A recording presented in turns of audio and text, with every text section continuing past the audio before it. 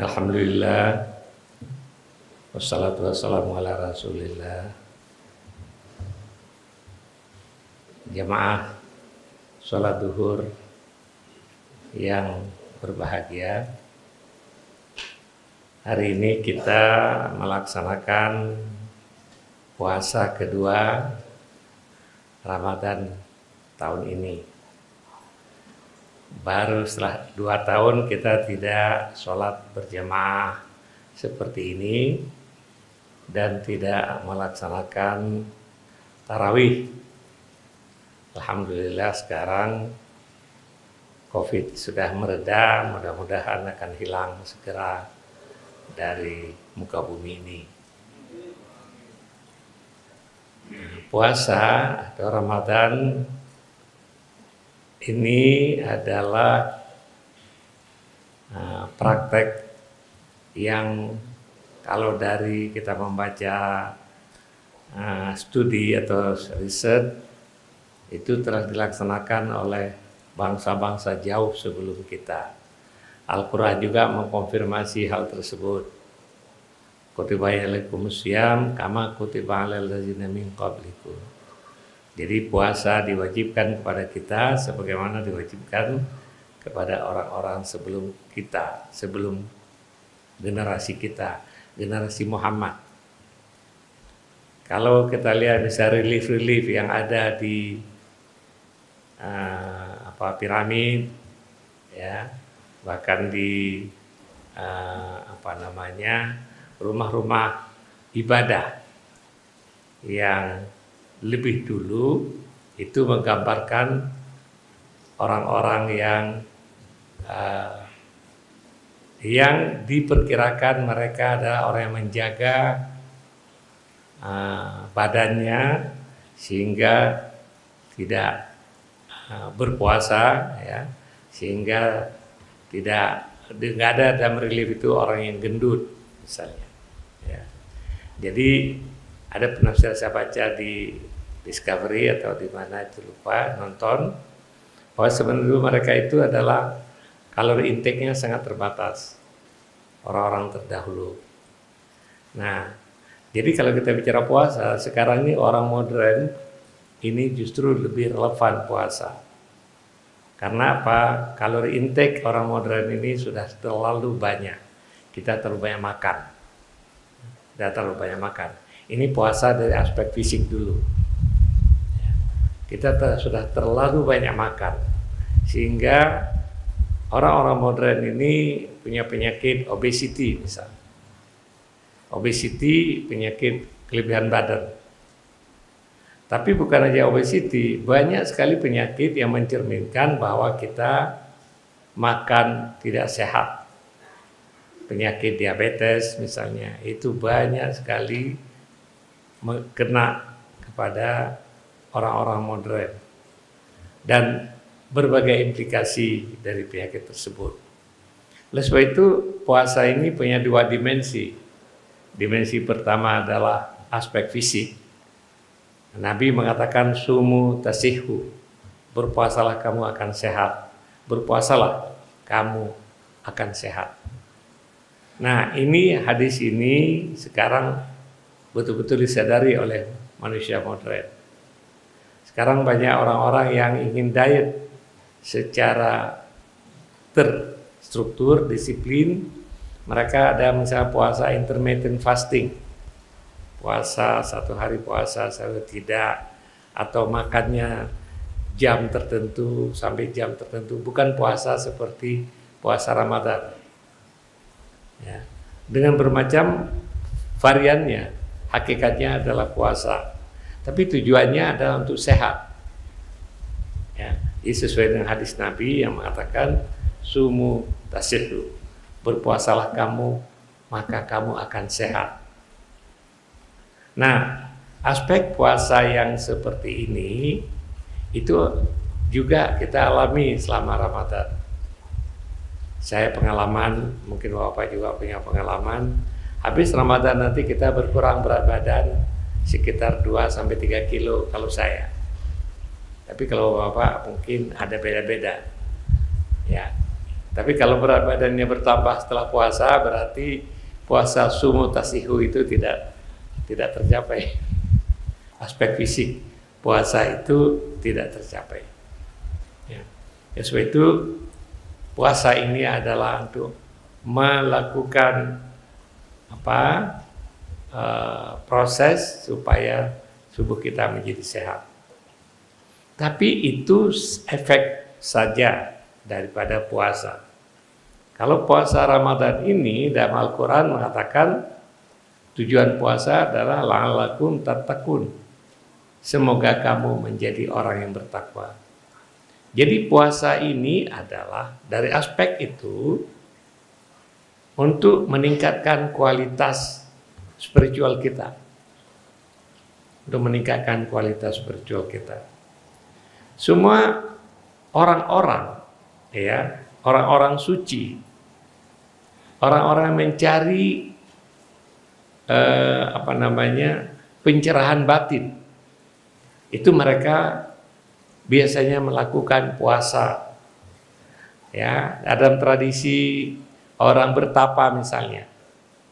Orang tradisi itu hampir semua tradisi, tradisi Islam, tradisi Hindu, tradisi Buddha, ya semua tradisi-tradisi agama orang yang ingin mencari pencerahan batin mereka kurangi makan mereka kemudian berpuasa nah puasa yang seperti ini yang diinginkan dalam bulan Ramadan mudah-mudahan batin kita makin tercerahkan mudah-mudahan kita akan menjadi orang yang lebih spiritual Mudah-mudahan kita akan menjadi orang yang lebih baik. Mudah-mudahan kita akan menjadi orang yang lebih sabar.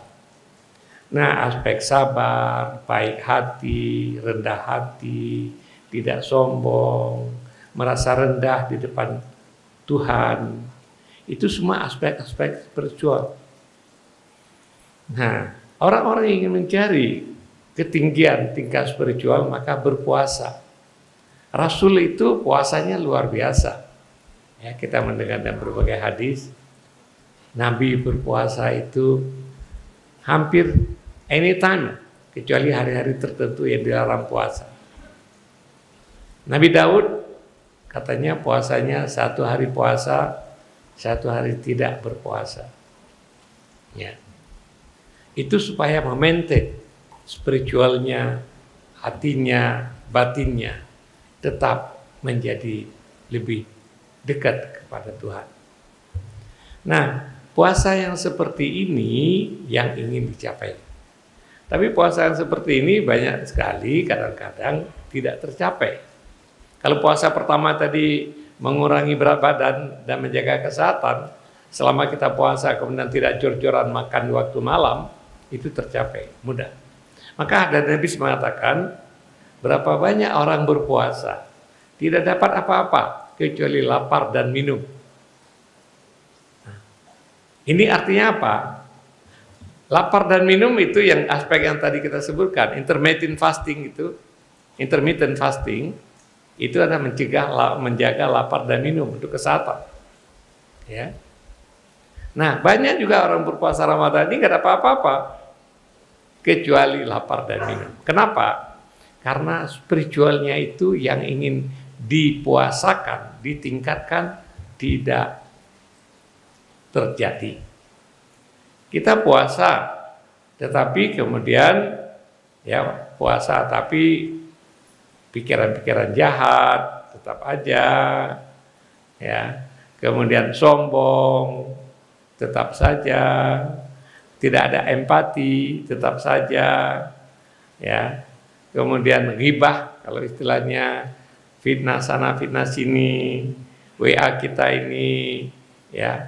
Syukur puasa bukan musim kampanye kalau puasa musim kampanye saya yakin sebagian besar orang puasa itu tidak dapat apa-apa. Karena apa? Dan puasa dalam kampanye itu kan banyak sekali fitnah berseleweran ya.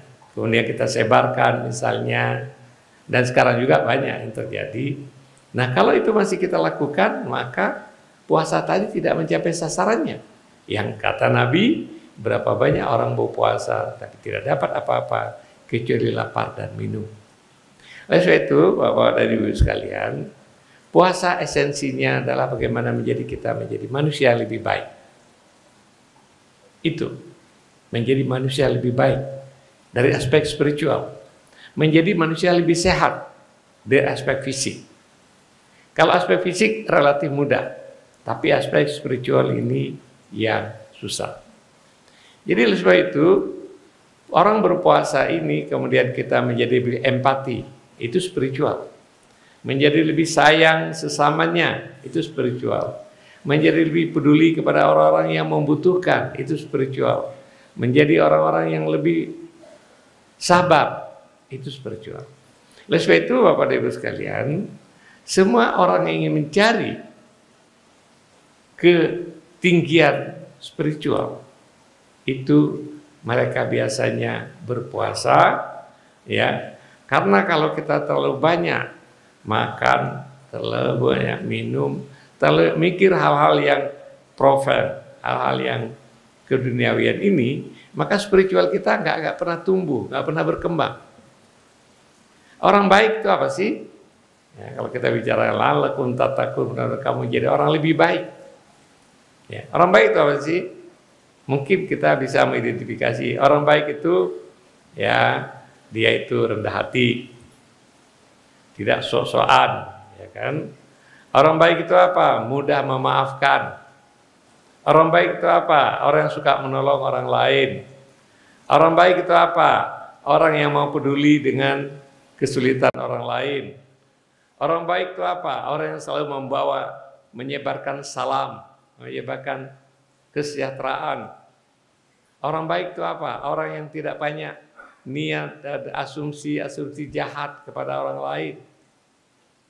Itu yang dimaksud dengan inti daripada puasa. Oleh sebab itu, Bapak dan Ibu sekalian, mari kita jadikan puasa ini menjadi kita manusia yang lebih baik.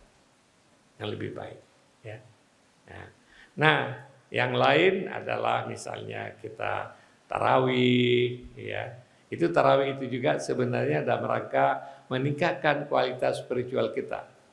Tapi kalau tarawih begini-begini cepat sekali, itu barangkali formalnya tercapai, tapi substansinya tidak tercapai. Ya. Nah, kemudian banyak membaca Al-Quran, itu juga dalam rangka meningkatkan spiritualitas kita, menjadi orang yang punya spiritualitas yang baik. Ya. Kemudian bersedekah, itu juga dalam rangka menjadi kita orang yang lebih baik. Kemudian lebih banyak sabar, sampai ada Nabi-Nabi mengatakan, kalau kamu lagi puasa, kemudian diprovokasi oleh orang lain, dimaki, diajak berantem, apa aja, katakan saya lagi puasa. Nah, artinya apa? Bukan saya lagi puasa nggak mau berantem, bukan. Tapi saya lagi puasa, saya tidak mau engage, tidak mau terlibat dengan sifatmu yang jelek itu. Nah, saya puasa sedang meningkatkan tingkat kualitas spiritual saya. Jadi Bapak Ibu sekalian, puasa sebenarnya aspek spiritual ini jauh lebih penting dan itu yang diinginkan. Ya. Karena hari-hari kita terlalu banyak terjebak dengan hal keseharian, ya. Kemudian selama bulan puasa ada kesempatan kita untuk introspeksi, ya. aspek spiritualnya. Oleh sebab itu, jamaah sekalian, Mari kita jadikan puasa ini betul-betul mencapai tujuan yang diinginkan Allah. La'allakum tattaqun. Mudah-mudahan kamu menjadi orang yang bertakwa.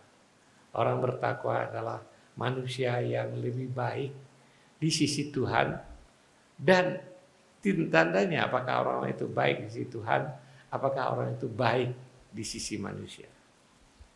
Ya, itu ukurannya. Ya, jangan merasa bahwa oh saya paling soleh ini, tetapi manusia membenci Anda. Itu itu asumsi false. Ya. Kalau saya merasa diri, wah saya ini orang paling dekat dengan Tuhan, tapi orang lain saya benci, ya kan? Mau apa namanya menyebarkan kebencian, itu pasti tidak benar. Ya. Eh, itu indikasi yang mudah saja. Apakah Anda orang baik atau tidak? Apakah manusia lain melihat Anda baik atau tidak? Nah, sekarang ini kan banyak sekali orang beragama, kemudian formalitasnya tercapai, dan merasa diri yang paling benar. Nah, itu pandangan dan paham yang salah. Siapa yang paling benar? Cuma Allah. Siapa yang bisa menilaikan seorang masuk surga atau tidak? Itu hak prerogatif Allah.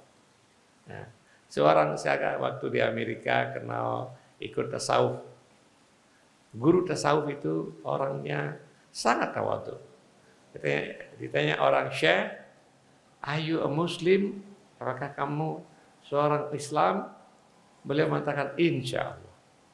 Apakah anda orang beriman? Dia mengatakan, insya Allah.